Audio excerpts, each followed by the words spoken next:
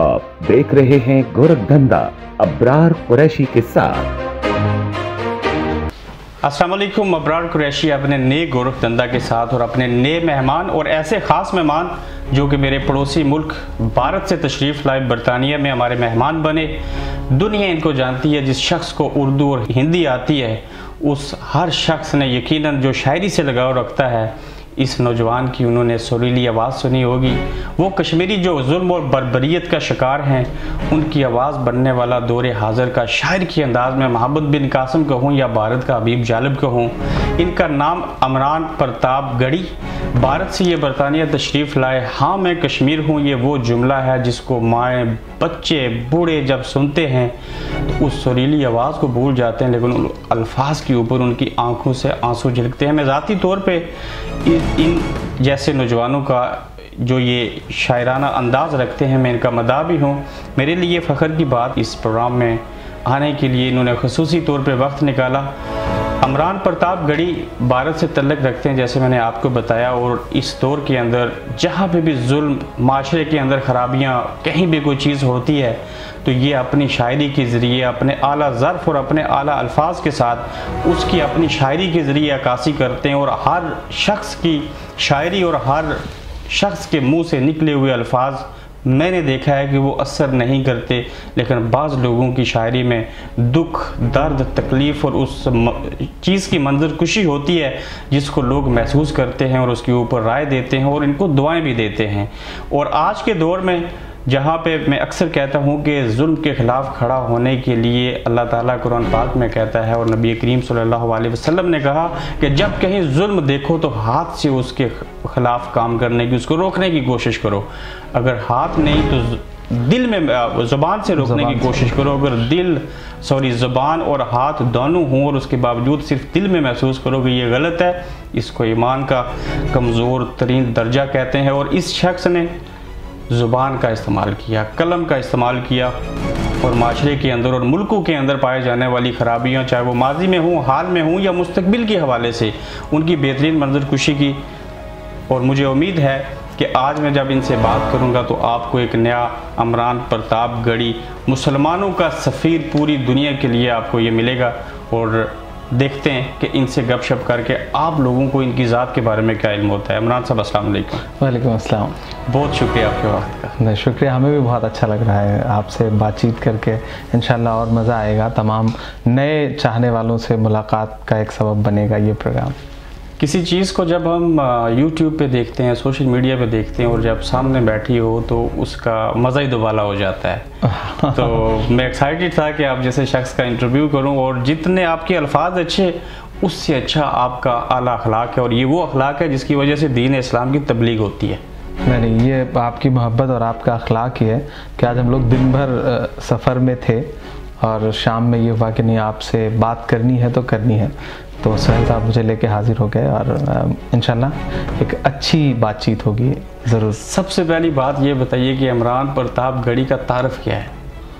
बस इमरान प्रताप गढ़ी एक आम सा हिंदुस्तान का लड़का है जो खुली आँखों से सुख दुख माशरे में होने वाली जो दुश्वारियाँ हैं उनको देखता है झेलता है और फिर उसे अपने लफ्ज़ों में ढाल करके दुनिया के सामने दुनिया के कानों को लौटा देता है। बस इमरान प्रतापगढ़ी इतना ही है। आपको पता है अबीब जालब कौन थे? जी आ, मेरे पसंदीदा शायरों में से हैं वो।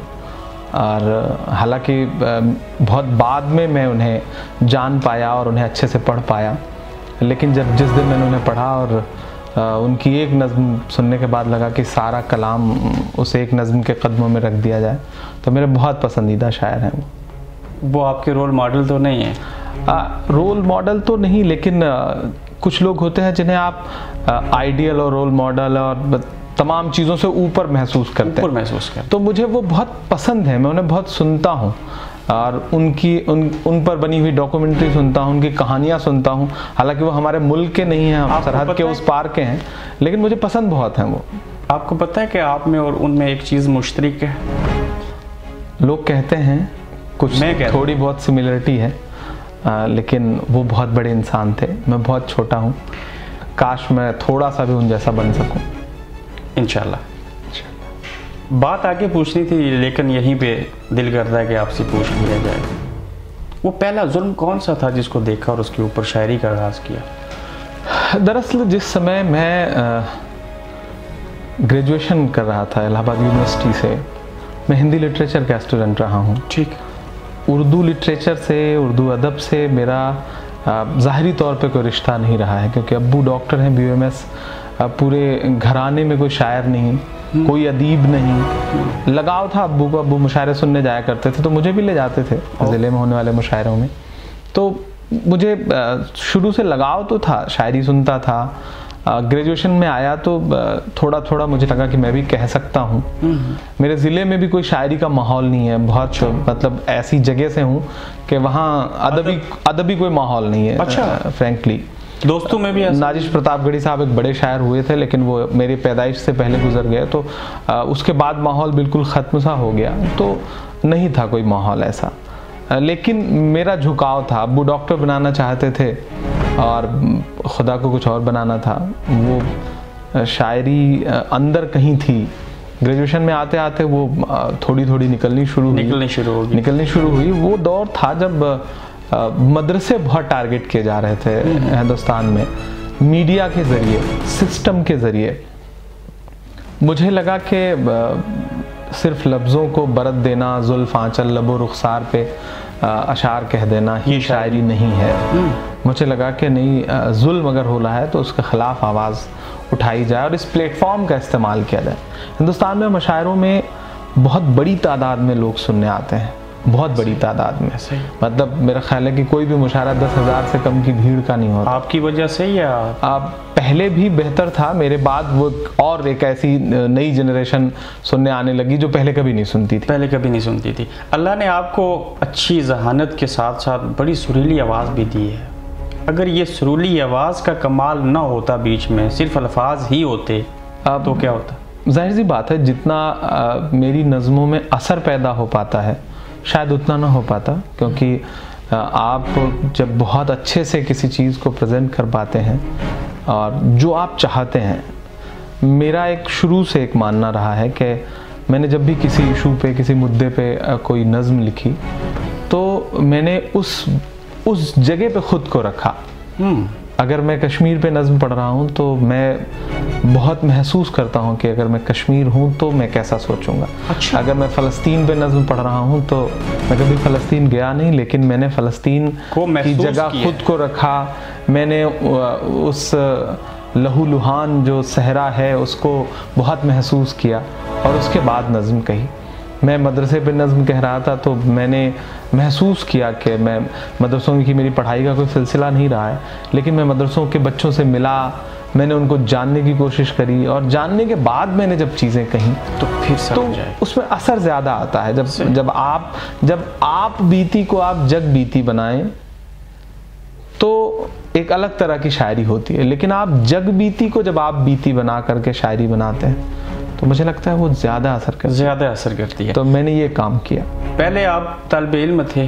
हमने दुनिया में देखा कि शायरों ने भी बड़े बड़े इनकलाब बर्पा किए जिनमें से मौजूदा दौर में बीसवीं सदी में एक आपका भी नाम शामिल है। क्या इस शायरी के साथ साथ सियासत में भी आना ज़रूरी होता है? नहीं ज़रूरी तो नहीं होता लेकिन एक सच्चाई है और बड़ी तलख सच्चाई है कि इस दौर में कम से कम हिंदी उर्दू बोलने वाले जितने भी मुल्क हैं जहाँ थोड़ी बहुत भी हिंदी उर्दू बोली जा रही है वहाँ सियासत के बिना कोई काम नहीं हो रहा है। सारे रास्ते जाकर सियासत पे ही ख़त्म हो होते हैं।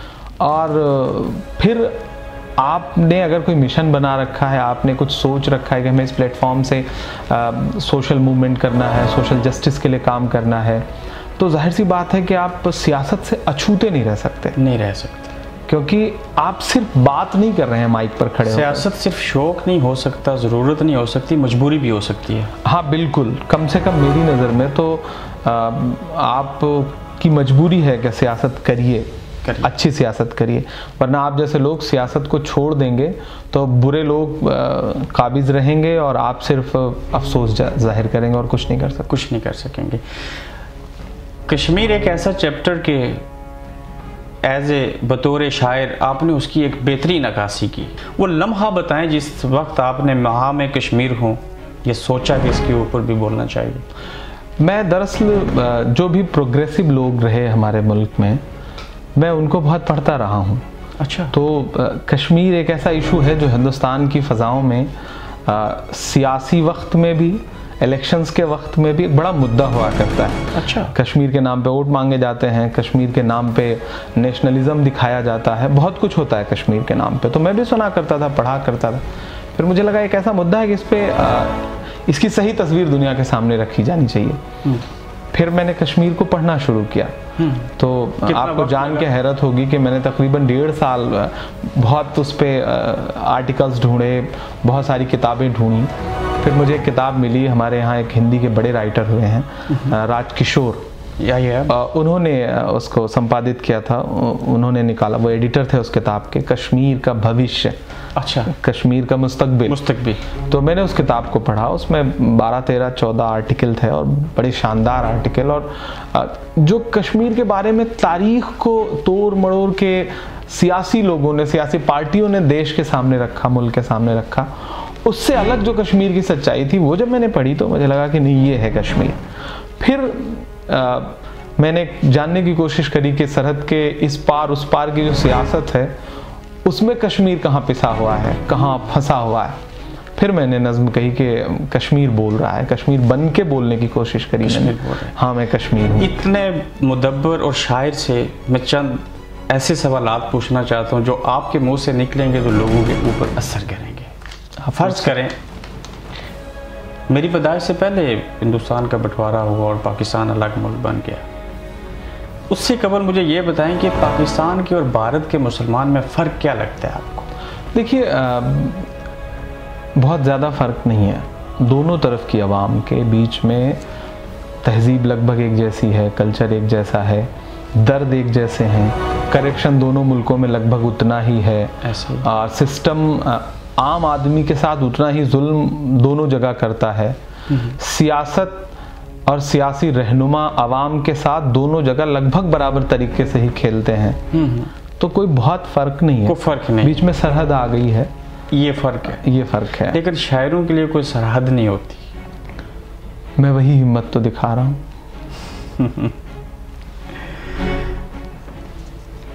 फिर मुझे ये भी बताइए कि आप ये बता सकते हैं सवाल का जवाब दे सकते हैं कि दो तीन गुना ज़्यादा मुसलमान आज भी भारत के अंदर हैं। हम्म। पाकिस्तान में उससे कम है। क्या पाकिस्तान को एक अलग मुसलमानों की रियासत इस्लामी जमहूरिया पाकिस्तान बनना चाहिए था? देखिए ये एक ऐसा सवाल है जिस जिसको बार बार सत्तर सालों में मतलब पूछा गया बहुत सारे जवाब आए बहुत सारे लोगों के अलग अलग नज़रिए हो सकते हैं। कम से कम 2019 का हिंदुस्तान का एक मुस्लिम नौजवान बरतानिया में बैठ के ये कह सकता है कह रहा है पूरी ज़िम्मेदारी से कि हमारा तो बहुत बड़ा नुकसान हुआ। पाकिस्तान बनने से। बहुत बड़ा नुकसान। ये हमारे का मतलब मुसलमान हमारे का मतलब आ, हाँ हिंदुस्तान के आम मुसलमान की हैसियत से कह रहा हूँ कि पाकिस्तान बनने का हमें बहुत बड़ा नुकसान हुआ। आज भारत का मुसलमान मुश्किल का शिकार क्यों है? उसकी एक बड़ी वजह पाकिस्तान का बनना है। ऐसे इशूज खड़े किए गए। आप तो आज भी वहीं पे हैं आपका कसूर क्या है? अब दरअसल कसूर क्या है ये कोई पूछ ही नहीं रहा है। वो तो हर दिन चंद लोग हैं जिन्हें अपनी सियासत करनी है वो हमें हमसे सबूत ही मांगते हैं हमसे कसूर नहीं पूछते हमारा कसूर। आप अपने आप को हमसे सबूत पूछते हैं। हिंदुस्तानी कहते हैं ना? बिल्कुल पूरी तरह। से कहते हैं। बहुत फख्र से। वो आपका मुल्क है। बहुत पक्का हिंदुस्तानी। आप शहरी हैं। बिल्कुल। आप उनको कैसे साबित करके दे सकते हैं कि आप हिंदुस्तान के शहरी हैं? दरअसल एक बड़ी तादाद ऐसी है जो बहुत अच्छी है और बड़ी मोहब्बत से रहती है। बेशक। मेरे बेशुमार दोस्त नफरत करने वाले हर मुल्क में बहुत थोड़े होते हैं लेकिन उनकी आवाज़ बड़ी ज़ोर की होती है। वो बड़े एकजुट होते हैं कलेक्टिव कोशिश करते हैं वो नफ़रत को फैलाने में। इसलिए नफ़रत हमें बड़ी दिखाई पड़ती है। हालाँकि मोहब्बत वाले लोग ज़्यादा होते हैं और हैं लेकिन वो थोड़े से खामोश हैं संजीदा हैं तो और कलेक्टिव कोशिश नहीं है उनकी। कोशिश नहीं है। तो नफरत आपको हावी दिखती है और मोहब्बत जो है वो कहीं कमज़ोर नज़र आती है। लेकिन ऐसा है नहीं। ऐसा हिंदुस्तान में एक बड़ा तबका है हिंदू भाइयों का जो मुसलमान भाइयों के साथ कंधे से कंधा मिला के खड़ा है और मैंने कहा ना मैंने कश्मीर पे राजकिशोर जी की संपादित किताब पढ़ी तब मैंने कश्मीर को जाना। उसमें मैक्सिमम आर्टिकल नॉन मुस्लिम भाइयों के। अरुंधति रॉय सबसे बड़ी आवाज़ उठाती हैं। गुजरात के लोगों का मुकदमा लड़ना होता है तो तीस्ता सीतलवाड़ आगे आती हैं। बिल्कुल ऐसे ये कुलदीप नैयर के आर्टिकल पढ़ के हम लोग बड़े हुए हैं। एक बड़ा खूबसूरत माहौल हिंदुस्तान में है। हमें फख्र है उस माहौल पे जो गंगा जमुनी तहजीब है। बस ये है कि चंद लोग तो बुरे हैं हर जगह हैं। बस उन्हें कभी कभी सिस्टम का साथ मिल जाता है तो वो बहुत उभर के सामने आखिरी इस तरह का सवाल पूछूँगा कि मैं इमरान प्रताप गढ़ी से ये पूछूँ कि भारत के मुसलमान से या किसी भी मुसलमान से बाकी लोग डरते क्यों हैं? मैं तो बहुत सीधा साधा सा हूँ मुझसे तो आपको डर नहीं लग रहा है मैं इज्तमाही बात कर रहा हूँ। मेरे जैसे ही हैं ज़्यादातर लोग ज़्यादातर लोग। दूसरों को दूसरों के अंदर पाया जाने वाला खौफ क्या हमारे लिए नुकसान का बायस बनता है? दरअसल एक वो वर्ल्ड वाइड एक दुश्वारी है कि एक सोच काम कर रही है जिनके पास पैसा है जिनके पास मीडिया है जिनके पास प्रोपेगंडा फैलाने की बहुत सारी मशीनें। मशीनें। वो अ, अ, उन्हें इस्लाम से तकलीफ़ है उन्हें मुसलमानों से तकलीफ़ है वो दुनिया को मुसलमानों का एक दूसरा चेहरा दिखाते हैं। दरअसल मुसलमान वैसा नहीं है। और हमें भी इसको ज़ोर ज़ोर से बोलने की ज़रूरत है। हमें है। दुनिया के सामने मैं अक्सर पूरे मुल्क में मुशायरों में कहता हूँ कि अगर वतन परस्ती चिल्ला के बताई जा सकती है तो चिल्ला के बताओ। बताना पड़ेगा। चीखो। ज़ोर से आवाज़ लगाओ। मैं लगातार पिछले दस साल से यही काम कर रहा हूँ। मैं गली गली कूचे कूचे आवाज़ लगा रहा हूँ। मैं नज़में पढ़ रहा हूँ कि मेरे मस्कन मेरी जन्नत को सलामत आप रखना। डरते क्यों नहीं है? मेरे मौला मेरे भारत को सलामत रखना। मैं मैं मैं दुआएँ भी कर रहा हूँ? और लोगों की जो खामियाँ हैं उस पर भी बात कर रहा हूँ। आप डरते क्यों नहीं है? पहले डरता था फिर लोगों की उम्मीदें जुड़ी। पहले अम्मी डरती थी जब इस तरह की नज़में पढ़ता था। फिर एक दिन उन्होंने मुझसे कहा कि हज़ारों लोग हैं लाखों लोग हैं जो तुमसे मोहब्बत करते हैं तुम्हारे लिए दुआ करते हैं। तो तुम्हें किसी और काम के लिए खुदा ने चुना है। तो डरना मत कभी। फिर उस दिन के बाद से ये कहते हुए मेरे रोंगटे खड़े हैं कि उस दिन के बाद से फिर कभी डर नहीं लगा और अब जब ये महसूस करता हूँ कि कहीं किसी कोने में मुल्क के या दुनिया के किसी कोने में कोई शख्स है जो परेशान है जिसके लिए आवाज़ उठाने की ज़रूरत है तो फिर मुझे लगता है कि उसकी जगह मैं हूँ। मैं अपने मुल्क में एक बच्चा गायब हुआ नजीब पिछले तीन साल से उस पर मैं कैंपेन चला रहा हूँ मैंने नज़में पढ़ी। तो जब मैं पहली बार उनकी माँ से मिला तो वो मुझे लिपट के बहुत रोई। हम्म, तो मैं वहाँ से लौटने के दौरान और घर तक आते आते मुझे लगा अगर इनकी जगह मेरी अम्मी होती तो। हम्म, और फिर मैंने नज़म कही। ठीक। तो जब भी मैं उसे पढ़ता हूँ तो मुझे डर नहीं लगता क्योंकि मैं ये महसूस करता हूँ कि ये दर्द मेरा है। और जब दर्द की इंतहा आप में भर जाए फिर आप किसी से नहीं डरते हैं। किसी से नहीं डरते। नहीं डरते हैं। अमरान प्रताप को कब पता चला कि वो एक बासलाहियत नौजवान है? दूसरों के काम आ सकता है। ये दरअसल आपको दुनिया बता देती है। आप खुद को तो कभी नहीं समझ पाते कि आप में क्या सलाहियत है या आप क्या कर सकते हैं। आप कितना बड़ा ब्रांड हैं कि आप नहीं जान पाते हैं। नहीं जान पाते। अगर आप बहुत अ, मतलब दुनिया की चकाचौंध ओढ़े हुए इंसान नहीं है तो बड़े सलीके के सीधे साधे इंसान है तो भोला भाला भोला भाला इंसान हूँ मैं तो बहुत कभी नहीं पता चलता। दुनिया बताती है कि आप ये कर सकते हो ये करना चाहिए। इंतहा के साथ किया आपने। आपकी ज़ुबान से और आपके हाथ से ऐसा कौन सा वो एक अमल जिस पे आप फख्र करते हो या आपकी वालदा? आ, बहुत सारे हैं जो गुमनाम हैं लेकिन कुछ काम हैं जो आ, मुझे याद है मुल्क में मॉब लिंचिंग एक बड़ी बड़ा मसला है हमारे यहाँ। पचास से ज़्यादा मॉब लिंचिंग हो चुकी कभी गाय के नाम पे कभी नारों के नाम पे लोग मारे जा रहे हैं। तो मैंने बड़ी कोशिश करी एक शायर शायद ज़मीन पे उतर के इतनी बड़ी कोशिश नहीं कर सकता। मैंने उसके ख़िलाफ़ बहुत अनूठा एहतजाज किया प्रोटेस्ट किया। हमारे यहाँ जंतर मंतर एक बड़ी बड़ी मशहूर जगह है जहाँ देश भर के लोग इकट्ठा होते हैं इस तरह के इश्यूज़ पे। तो मैंने हुकूमत से ये कहा कि आप हमारा खून सड़क पे क्यों बहा रहे हैं? हम इसे डोनेट करते हैं। ये सेना के जवानों की जान बचाने के काम आएगा ये किसानों की जान बचाने के काम आएगा। तो हमने एक दिन में अपने फैंस के साथ मिलके 2816 यूनिट ब्लड डोनेट किया एहतजाज के तौर पर। यूनिट एहतजाज के तौर पे ये एक दिन में। और फिर मैंने उस दिन से मैंने बेड़ा उठाया कि नहीं जहाँ भी दुश्वारी होगी मैं मैं एक काम ये करता हूँ जो सबसे मुझे बहुत मेरे दिल को सुकून देता है। कि बहुत सारे इश्यूज़ ऐसे हैं जिन्हें मीडिया बिल्कुल छोड़ देता है। बिल्कुल ऐसे क्योंकि वो बायस्ड है क्योंकि वो उसके अपने मतलब उसके अपने इश्यूज़ हैं। अपने एजेंडे। उसी पे एजेंडे पे काम करना है उसको। वो छोड़ देता है। मैं कोशिश करता हूँ कि मुझे सोशल मीडिया पे लोग बहुत प्यार करते हैं पसंद करते हैं बड़ी फ़ैन फॉलोइंग है। तो मैं ऐसी हर जगह पहुँचने की कोशिश करता हूँ। मैं जाता हूँ तो फिर वो मुद्दा सोशल मीडिया पे वसाइल कहाँ से लाते हैं? अब अ, अल्लाह ने थोड़ा सा खुद कमाने का एक ज़रिया दिया हुआ है हुनर दिया हुआ है तो कोशिश करता हूँ कि मैं खुद से अपनी तरफ़ से मदद करूँ। फिर मैं एक काम करता हूँ मुझे जिसकी मदद करनी होती है। कोई एक परेशान है मजलूम है मैं उसके घर पहुँचता हूँ और मैं अपनी तरफ़ से पूरी दुनिया को बता के कि मैंने एक लाख रुपए की मैंने मदद करी और अब आपसे भी गुजारिश कर रहा हूँ कि आप इनकी मदद करिए।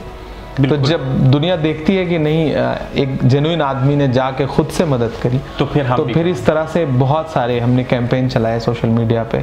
और मॉब लिंचिंग के वो शिकार जिनके घरों में खाने तक के पैसे नहीं हुआ करते थे अल्हम्दुलिल्लाह किसी को 25 लाख किसी को 30 लाख किसी को 50 लाख तक की मदद हम लोगों ने सोशल प्लेटफॉर्म से माशाल्लाह। इमरान साहब चाहे हमारे मजहबी स्कॉलर हों पूरी दुनिया में हमने तबलीग भी की इस्लाम को फैलाने की तो within the Muslim community जबकि हमें बाहर करनी चाहिए थी।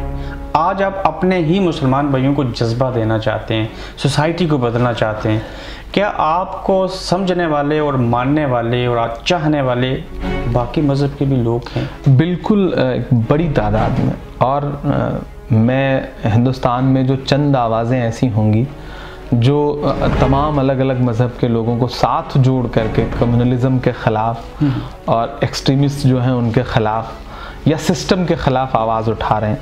मैं तनहा नहीं हूँ उसमें। मेरे तमाम दोस्त हैं? जो अलग अलग मज़हबों से हैं।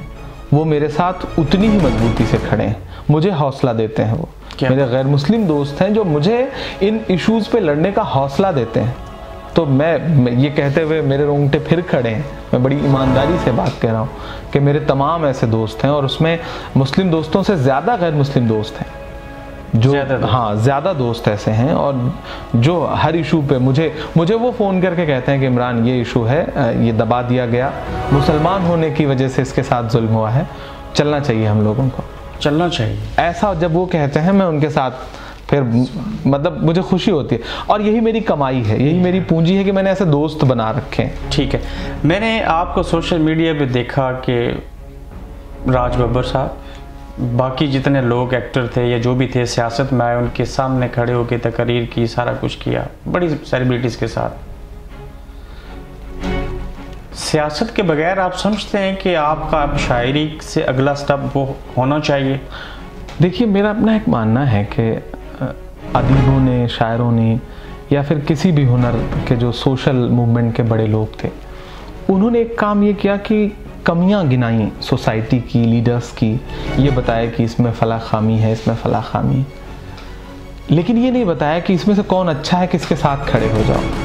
हम कमियाँ तो निकालते हैं लेकिन कमियाँ निकालने से जिम्मेदारियाँ नहीं पूरी हो रही ना। बेशक। अब तो आपको अपने चाहने वालों को ये भी बताना है कि फला फला फला खराब है फला इंसान सही है कम सही है मिराज फैजाबादी साहब का एक शेर है कि कम से कम जमहूरियत में इतनी आज़ादी तो है। हमको खुद करना है अपने कातिलों का इंतखब।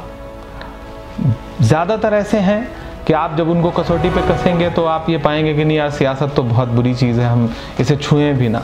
लेकिन चुनना आपको किसी एक को ही है। एक को ही है। तो उसमें से जिसमें कम खामी है उसे चुन लेते हैं। तो मैं उसके साथ खड़ा हो जाता हूँ कि नहीं यार ये है जो थोड़ा सा सेकुलर है अच्छा काम करेगा। तो मैं फिर तमाम दुश्मनी लेके भी उसके साथ खड़ा खड़े हो जाते हैं। इंडिया के किस सियासतदान से मुतासर हैं? राहुल गांधी। राहुल गांधी। यकीनन। ठीक। हाँ, एक नया विजन है उनके पास। अभी उन्हें हिंदुस्तान कम समझ पा रहा है। लेकिन वक्त लेकिन तो समझेगा। समझेगा। समझेगा और एक दिन ज़रूर समझेगा। ज़रूर समझेगा। इमरान साहब प्यार मोहब्बत और इश्क के बगैर हम अक्सर देखते हैं कि शायरी मुकम्मल नहीं होती लेकिन आपकी शायरी में तो इंसानियत मुल्क और कौम के लिए दुख भरी दास्तानें बयान करती है। मेरा भी मन करता है मोहब्बत के अशार कहूँ मोहब्बत करूँ जुल्फ़ाचल लबो रुखसार की शायरी करूँ। करने की कोशिश भी करता हूँ। वही वक्त होता है जब कहीं मुल्क के किसी कोने से किसी माँ की चीख आती है कि उसके बेटे को भीड़ ने मार दिया या उसके साथ सिस्टम ने जुल्म किया। तो मुझे लगता है वो ज़्यादा अहम है। मुझे उसकी आवाज़ बनना है। फिर मैं उसकी आवाज़ बनने के लिए दौड़ पड़ता हूँ और मोहब्बत कहीं पीछे छूट जाती है। बस इतनी सी कहानी है। आज दुनिया के मोस्टली इंसानों के पास इस दौर में कैमरा मौजूद है इजी एक्सेस हो चुकी है उनको। उसके बावजूद क्या एक शायर जहालत को ख़त्म कर सकता है माशरे से? देखिए बहुत कम से कम दो तीन पीढ़ियों से मैं अगर गौर करूँ तो मैं ये पाता हूँ कि शायर कई मुल्कों में शायरों का बड़ा रोल है और बड़ा एहतराम है शायरों का। अल्लामा इकबाल साहब को पूरी एक पीढ़ी है जो पसंद करती है। बेशक। हबीब जालिब साहब को हिंदुस्तान में गालिब साहब को फराज को मीर को एक एक पूरी पीढ़ी है जो बहुत प्यार करती है आइडियल मानती है। उनकी कही गई बात को सच मानती है उस पर अमल करती है उनके जैसी ज़िंदगी जीने की कोशिश करती है। तो मुझे लगता है कि वो बिल्कुल बदल सकता है वो इतना असर रखता है माशरे पर। मैं हिंदुस्तान में एक पूरी ऐसी जनरेशन जो उर्दू से बहुत दूर थी हिंदुस्तानी ज़बान से बहुत दूर थी इंग्लिश बोलती थी हिंदी और इंग्लिश मिला करके इंग्लिश बोलती थी। मशारों में नहीं आती थी तहजीब से बहुत दूर थी। मेरे आने के बाद एक ऐसी भीड़ मशारों में आ रही है जिसे मशारे से कोई मतलब नहीं है। जिसे शायरी से कोई मतलब कम नहीं। कम आपने उर्दू सीधी कर मैं मतलब उसे लगता है कि नहीं ये मेरा मेरा स्टार ये है। अच्छा। मुझे इसे सुनना है मुझे इसे देखना है मुझे इससे मिलना है। कई कई सौ किलोमीटर से लोग मुशायरा सुनने आते हैं। कई कई सौ किलोमीटर छूने के लिए प्रोग्राम खत्म होने के बाद जो उनकी मोहब्बत है आप वीडियोस उठा के देखिएगा मेरे चैनल पे। तो आपको लगेगा कि कितना दीवानापन है लोगों का। बिल्कुल। इतने हसीन है नौजवान है दराज कद है अल्लाह ने बड़ी अच्छी जिसामत दी है। अगर कहीं को प्यार मोहब्बत इश्क हो जाता तो ये शायरी फिर भी होती। अब आपको अपनी प्रायोरिटीज तय करनी पड़ती हैं। हम्म, कुर्बानी देनी पड़ती है। मैंने तय की। और जब आप अपनी प्रायोरिटीज तय कर लेंगे तो कुर्बानी तो देनी पड़ेगी तो देनी पड़ती है। कितनी ख्वाहिशों को मारा और वक्त दिया लोगों को? बहुत सारी। शोहरतें जब आती हैं तो आपसे बहुत कुछ छीन लेती हैं पहली बार फिर आप एक मिशन पे निकल पड़ते हैं तो फिर बहुत कुछ और कुर्बान कर देना पड़ता है। महीने मतलब मैं पिछले सात महीने से अपने घर नहीं जा पाया। अम्मी को बुला लेता हूँ मैं दिल्ली रहता हूँ तो अम्मी को बुला लेता हूँ। मैं अपने गाँव जाना चाहता हूँ मैं दोस्तों के साथ क्रिकेट खेलना चाहता हूँ। मैं चाहता हूँ कि उन पुरानी जगहों पे जाऊँ जहाँ मैं साइकिल चला के स्कूल जाता था। आज सब कुछ है पीछे काफिला है गाड़ियाँ हैं सब कुछ है। अल्लाह ने वो सब दिया जो एक शायर होते हुए सोचा नहीं जा सकता। सोचा नहीं जा सकता। बिल्कुल अल्लाह ने स्टारडम दिया जो मुशायरे के किसी भी शायर के लिए ख्वाब हो सकता है बड़ा ख्वाब हो सकता है। फिल्मी स्टारडम दिया अल्लाह ने। कोई शक नहीं है इसमें। लेकिन फिर भी इस सब में कुछ तो है जो बहुत मिसिंग मिसिंग सा है। शायर का बेटा शायर हो सकता है। अ, ज़रूरी नहीं है। अब्बू डॉक्टर थे मैं डॉक्टर नहीं हुआ। आप कोई ज़रूरी नहीं कि मेरा बेटा शायर हो। वैसे मैं चाहूँगा कि ना हो क्योंकि बहुत कुर्बानी देनी पड़ती है। नींदें कुर्बान करनी पड़ती हैं और हम्म, बहुत कुछ कुर्बान करना पड़ता है। शायद वो उतनी कुर्बानी दे ना पाए जितनी मैंने दी है। इसलिए मैं नहीं चाहूँगा कि वो शायर बने। इसका मतलब आपका कोई जानशीन नहीं होगा? हाँ, ये एक बहुत रवायती सवाल है। मुझे लगता लेकिन है लेकिन शायर से पूछा मैं तो मैं मैं इंशाल्लाह अपने मरने से पहले अपने हज़ारों जानशीन बना जाऊँगा। इंशाल्लाह। कभी कभी ज़िंदगी में ऐसे लम्हे भी आते हैं ऐसे हकाइक भी आते हैं कि इंसान को उनके ऊपर ना चाहते हुए भी बोलना पड़ता है। फॉर एग्ज़ाम्पल कभी इंसानियत की बात आ गई कभी मज़हब की बात आ जाती है। किसी ने हमारी अजान के ऊपर तंज किया और आपने शायराना अंदाज में उनको जवाब दिया। फ़ख्र करते हैं इस बात पे। यकीनन? और जब भी ज़रूरत पड़ी है सिर्फ़ सोनू निगम साहब ने करी थी। अजीब बेवकूफ़ी भरा बयान था उनका। मैंने उसके ख़िलाफ़ नज़में पढ़ी और बहुत अप्रिसिएट किया लोगों ने। और हिंदुस्तान बहुत अलग मुल्क है। उसकी तहजीब ऐसी उसकी मिट्टी में कुछ ऐसा है। मेरे घर के पड़ोस में मंदिर है तो आरती होती है। अजान होती है गुरुद्वारा है चर्च है तो ये सब ये नया जो प्रोपेगेंडा शुरू किया गया है मुल्क में वो सब सियासी लोगों ने शुरू किया है। उनके खिलाफ बोलने की ज़रूरत है। नहीं बोलेंगे तो वो पूरे माहौल को ख़राब कर देंगे। कभी किसी ऐसे मौजू के ऊपर बोले हों जिससे आपको फील हुआ हो कि इमरान मुझे इस पे ये शायरी नहीं करनी चाहिए थी? आ, नहीं ऐसा कभी नहीं हुआ। और मैंने ऐसा कुछ बोला या कहा ही नहीं। जिसके लिए मेरे दिल ने गवाही नहीं इजाज़त हो तो थोड़ी सी तलख बात हो जाए। बिल्कुल कर सकते हैं। सानिया मिर्ज़ा हमारी बहू बनी। हाँ आपने कहा शोएब मलिक से उसने शादी क्यों की? नहीं मैंने क्यों नहीं क्यों की ये नहीं कहा। मेरा सवाल नहीं था। मेरा मतलब उन्हें मैंने सलाह दी थी। सलाह। बड़ा प्रोपेगेंडा हुआ था हिंदुस्तान में। तो इसका मतलब आप तो नहीं शादी करना चाहते नहीं मैं मैं बिल्कुल नहीं करना चाह रहा था। मैंने ऐसे कभी कभी मशायरे में जब आप होते हैं तो आपको बहुत कुछ ऐसे मज़े के लिए भी पढ़ना पड़ता है। कि लोग तो अब एक ताज़ा ताज़ा मसला था तो मैंने ऐसे ही पढ़ दिया था कि यूसुफ पठान से कर लेती शोएब से क्यों किया? एक मज़े का वो था। उस बार चला इतनी दुख भरी शायरी करने के साथ साथ कभी दिल इस तरफ़ जाता है कि आप कोई मज़ा शायरी भी करें? नहीं वो मेरा काम नहीं है मैं उसके लिए नहीं बना हूँ। मुझे लगता है कि मैं लोगों के आँसू ज़्यादा बेहतर तरीके से जज्ब कर पाता हूँ। ये जितना असासा है ये किताबी शक्ल में है या सोशल मीडिया के ऊपर वीडियो की सूरत? अभी इंशाल्लाह जल्दी ही कोशिश कर रहा हूँ कि किताब आ सके। अभी तक अभी तक नहीं आई है। वक्त ही नहीं मिला दरअसल। पहली नज़म से ही अल्लाह ने इतना मकबूल कर दिया, इतना पॉपुलर कर दिया, कि फिर ज़िंदगी में बहुत फुर्सत नहीं मिली। और जब फुर्सत मिली तो पता चला कि इतने सारे हादसे हैं कि लोगों के आँसू पहुँचने के लिए उनके घरों तक पहुँचना है। तो सच में अपने लिए वक्त नहीं मिला। और किताब की शक्ल में चीज़ें आने का मतलब है जब आप खुद के लिए वक्त निकाल पाएँ। एक वक्त होता है कि इंसान अकेला होता है, फिर वो दो होते हैं। मैं शादी की बात कर रहा हूँ।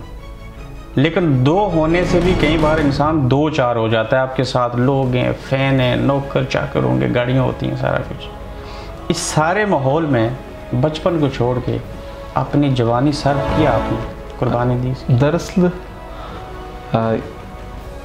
तन्हा ही है इस भीड़ में भी, और तन्हाई पसंद है। ये मुझे अच्छा लगता है। इस पूरी दुनिया की चकाचौंध में मैं अपने अंदर के उस मासूम से इमरान को भी बचाए हुए हूँ। मुझे सुकून इस बात का है। इस बात का। और इंशाल्लाह बचाए रखो शायरी करने के लिए बेहतरीन जगह कौन सी है जिसका आप इंतखाब करते हैं? ये बहुत मुश्किल सवाल है।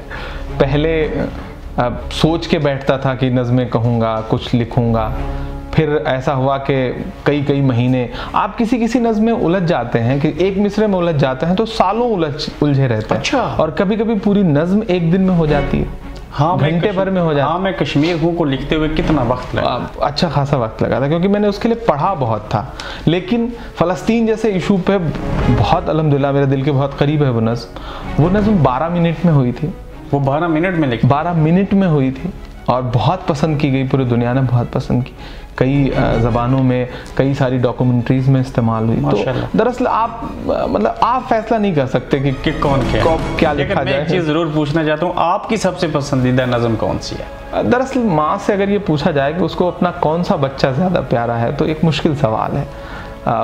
सब कुछ अच्छा लगता है मुझे फ़लस्तीन की नज़म बहुत पसंद है कश्मीर की नज़म मेरे दिल के बहुत करीब है। मदरसे की नज़म ने मुझे बहुत दुआएँ दिलवाई हैं तो इसलिए वो एक अलग तरह से पसंद है।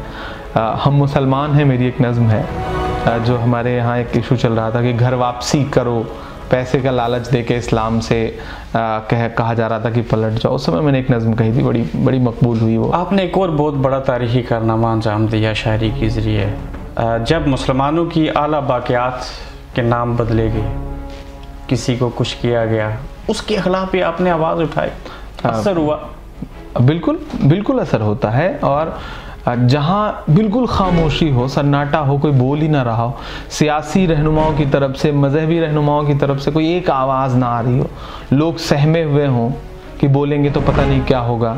ऐसे में एक बुलंद आवाज़ जब गूंजती है तो उसका असर आवाम पे बहुत पड़ता है लोगों को हौसला मिलता है लोग सोशल मीडिया पे लिखने लगते हैं। आज आप मदरसों के खिलाफ उस तरह से प्रोपेगंडा नहीं पाएँगे। नहीं। पहले तो कुछ भी होता था एक चेहरा उसको दाढ़ी पहनाई गई उसको टोपी पहना दिया गया और बता दिया गया फला मदरसे से। आखिरी तीन सवाल पूछूँगा। ये जो ताजमहल है ये मुसलमानों की पहचान है या मोहब्बत की अलामत है? ये दरअसल मोहब्बत की अलामत है और हिंदुस्तान की छाती पे जड़ा हुआ एक ऐसा नगीना है जिस पे पूरे मुल्क को फ़ख्र करना चाहिए फ़ख्र करता है मुल्क। लेकिन दरअसल वो मोहब्बत की अलामत है और मोहब्बत की एक अमानत भी है वो। एक अमानत जी। थोड़े ज़ाती सवाल पूछ सकता हूँ? पूछ सकते हैं। शादीशुदा है? नहीं अभी नहीं शादी नहीं। अभी बचे हुए हैं। अभी बच्चे हुए कल बच्चे होंगे। अभी बचे हुए हैं आने वाले वक्त में। अल्लाह एक दुनिया का निज़ाम है अल्लाह का निज़ाम है तो बच्चे भी होंगे बच्चे भी होंगे। मेरे देखने वाले आपके मुँह से मेरे प्रोग्राम में पहले दो बोल सुनना चाहते हैं। हाँ मैं कश्मीर। अब बिल्कुल मैं मैं सुना देता हूँ लेकिन उसके पहले एक मतलब एक शेर सुनाता हूँ। जो मोहब्बत कौन करता है सियासत कौन करता है? मोहब्बत मोहब्बत कौन करता है सियासत कौन करता है? अक्सर लोग सवाल पूछते हैं डरते नहीं हो। तब मैं ये शेर पढ़ता हूँ कि मोहब्बत कौन करता है सियासत कौन करता है? मुझे मालूम है मेरी हिफाजत कौन करता है और हम ही ने लाज रखी है बुज़ुर्गों की यहाँ वरना सभी टुकड़ों पे पलते हैं बगावत कौन करता है? वाह। कश्मीर की नज़म के लिए आप हुक्म दे रहे हैं मैं उसका अ, बस उसकी शुरुआत का एक सुना देता हूँ कि। तरन्नुम में सुना दूँ? तरन्नुम में तो मज़ा ही हो रहा है। ना बुज़ुर्गों के ख्वाबों की ताबीर हूँ। ना बुज़ुर्गों के ख्वाबों की ताबीर हूँ। ना मैं जन्नत सी अब कोई तस्वीर हूँ। जिसको मिल कर के सदियों से लूटा गया, मैं वो उजड़ी हुई एक जागीर हूँ। हाँ मैं कश्मीर हूँ। हाँ मैं कश्मीर हूँ। हाँ मैं कश्मीर हूँ। हाँ मैं कश्मीर हूँ। सुबहान अल्लाह मुझे उम्मीद है कि जब कश्मीरियों की कोई ख्वाहिश पूरी होगी तब भी आप एक नज़म लिखेंगे इंशाल्लाह ज़रूर। हम दुआ करते हैं कि अल्लाह जल्दी से जल्दी हालात साजगार करे और कश्मीरियत के हक़ में कश्मीरियों के हक़ में अच्छा फ़ैसला हो। उन्हें एक आसान ज़िंदगी एक आम ज़िंदगी नसीब हो। जो वो शायद सत्तर सालों से नहीं जी पा रहे। नहीं जी पा रहे। बहुत शुक्रिया आपके काम। Thank you so much thank you